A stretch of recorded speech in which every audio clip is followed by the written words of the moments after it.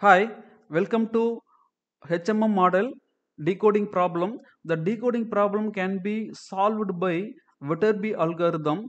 The decoding is a process of finding the hidden state sequence from the sequence of observations. So here the algorithm will be started with initialization sta- initialization state uh, from the start state. So here this is the start state um, we have to uh, start the initialization from start state to next state.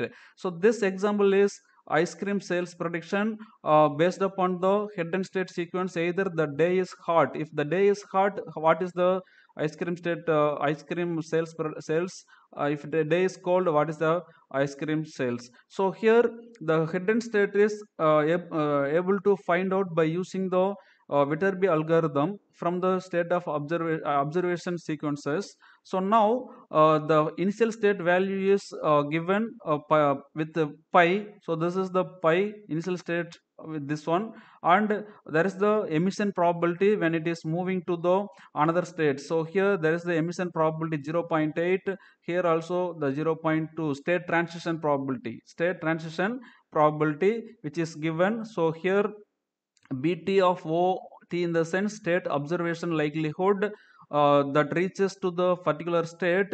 Once it reaches to the particular state it will get some observation. That means observation means eating the ice creams number of ice creams. Okay? And uh, aij in the sense transition probability from previous state to current state. That means uh, we may say qi given qj or we can say uh, qi given qi minus 1 right? So now uh, we have to do this process for uh, all the states recursively.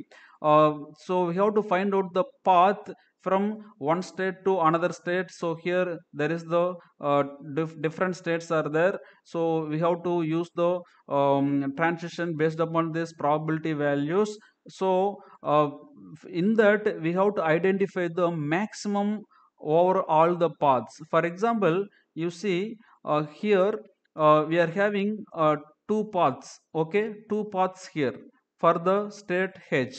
So from this we should select maximum uh, value of, of these two paths. So that's what given here right? Uh, so after uh, taking the uh, maximum path value we can use that value to move into the uh, next state by predicting the previous state. So here the uh, bt of bt1 of j is here emission probability. Once you reach the particular state uh, then you will get transition value and also emission value. You have to multiply these values. Okay?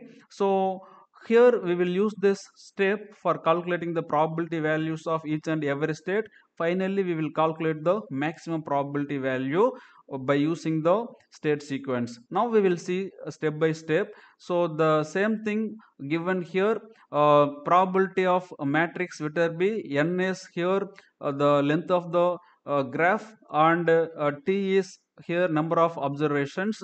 Initialization step we have to use the initialization values probability values and after reaching the state particular state we will get some observations.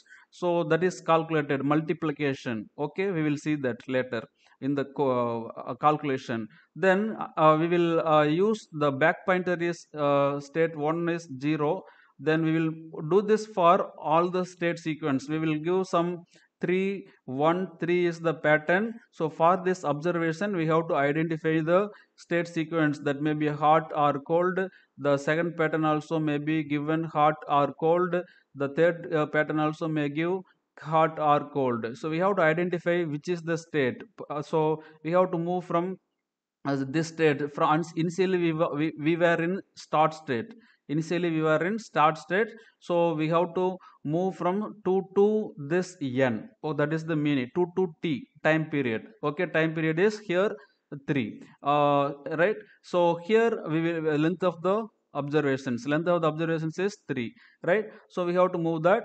So now for each state we have to move. This is the first state first state second state and third state. We have to move. Right uh, so when you are moving you have to use the previous probability value and state transition value and emission value.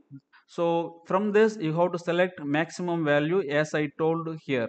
We have to select maximum value among the different paths. Okay? That's what given here. So based upon that we will calculate the back pointer also to move into the next state so here once you calculated all the values you can find out the maximum probability. After reaching the maximum probability you can stop the algorithm. So here also for the uh, best path for the best path you will calculate the maximum probability right? So now we will see that one by one first we will move from initial state to uh, two states are possible. You may move to the cold state or you may move to the hot state. So based upon that we will do that uh, from start state we will assume we first we are moving to the hot uh, cold state. So if it is the cold state so probability of moving from start to cold that can be denoted with probability of cold given start. This is the current state qi given qi minus 1 okay so start state. After reaching the cold state then there is the pattern three ice creams consumed. So probability of 3 given cold probability of 3 given cold. Then values are substituted as per given in this structure. Probability of 3 given cold is 0.1 so that's what given here 0.1 so value is given like that. The first day may be a hot also. Oh, for that we should calculate the probability value. So we are uh, the person is moving from start to hot state. So when it is moving to the hot state so probability of current state is hot from previous state is start. So probability of hot given start.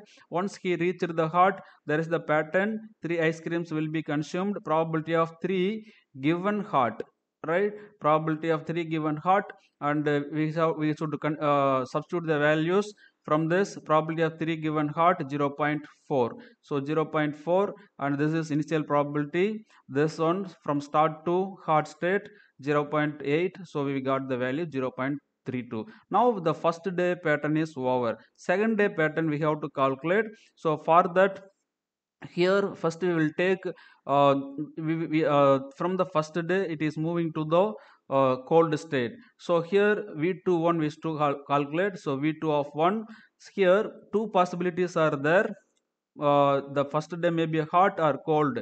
The even it is hot he will uh, the second day may be a cold. Even first day may be a cold second day may be also cold. So we have to take uh, all the probabilities. So we are taking the first one. So v11 and from moving to cold first day also cold second day also cold. So probability of cold given cold. So v1 of 1 probability of cold given cold. After reaching the cold state there is the pattern one observation one given cold. Probability of one given cold. Then comma okay next path. Next path is this one right? So probability of uh, cold given hot and this is v12 so v12 right so here this one. V12 probability of cold given hot. Then after reaching the hot state we have uh, sorry uh, probability of cold given hot uh, after reaching the cold state it has to consume one ice cream. So probability of one given cold. Probability of one given cold.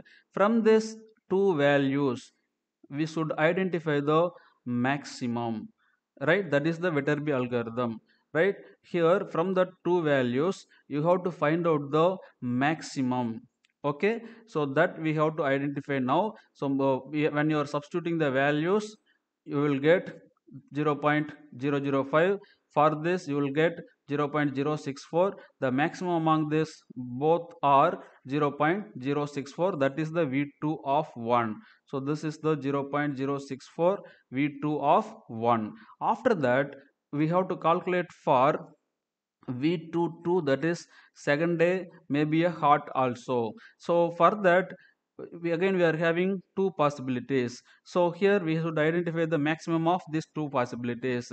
So v22 is maximum of first one we are taking this path okay v11 multiplied with probability of hot given cold from the cold he is reaching to current state H.